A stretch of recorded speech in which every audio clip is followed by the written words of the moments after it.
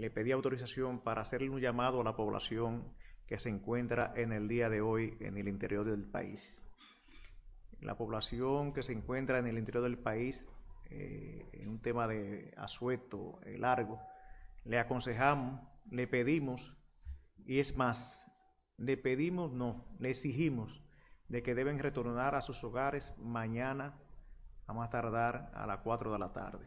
Deben estar en sus hogares. Es una, es una sugerencia prácticamente que se convierte en orden, porque hay que evitar el tema del tránsito el lunes. Este evento, que en estos momentos tiene un movimiento de traslación de 37 kilómetros por hora, adelanta eh, el impacto en nuestro país de seguir las proyecciones.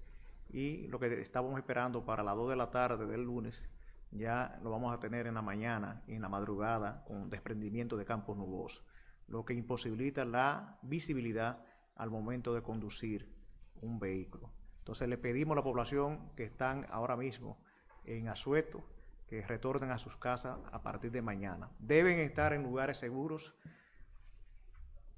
mañana y el lunes hasta que la ONAME, como organismo técnico científico, descontinúe la peligrosidad que puede existir para nuestro país y nosotros levantemos los niveles de alerta.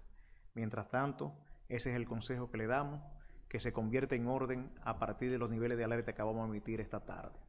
En alerta amarilla, la población tiene que estar en los aprestos. En alerta roja deben estar en sus casas o en un albergue oficial.